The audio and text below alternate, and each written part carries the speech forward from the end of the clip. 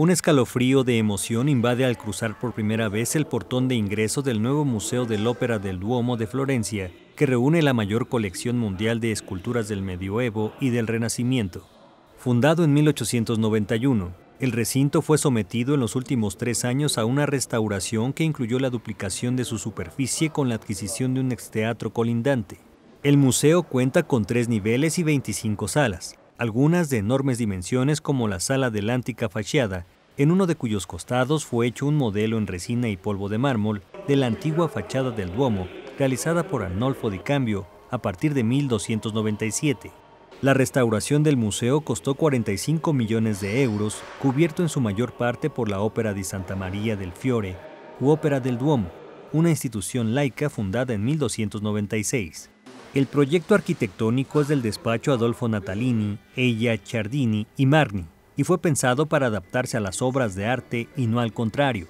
Actualmente resguarda las obras monumentales que han creado el estilo del Renacimiento, incluidas unas 200 por primera vez expuestas al público tras su restauración. El trabajo de Miguel Ángel Buenarroti, Donatello, Arnolfo Di Cambio, Lorenzo Giaverti, Andrea Pisano, Antonio del Polaio, Luca de la Robia y Andrea del Verocchio estará reunido en el nuevo museo, ubicado justo enfrente del Duomo, la célebre catedral florentina.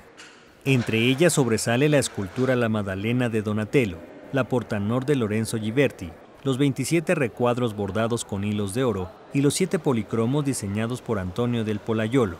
Asimismo, hay nuevas obras nunca antes vistas o que estuvieron conservadas en los depósitos por decenios, como 15 estatuas del siglo XIV y casi 70 fragmentos de la fachada medieval del Duomo con información e imágenes de Mario Beristain, corresponsal en Italia, Notimex.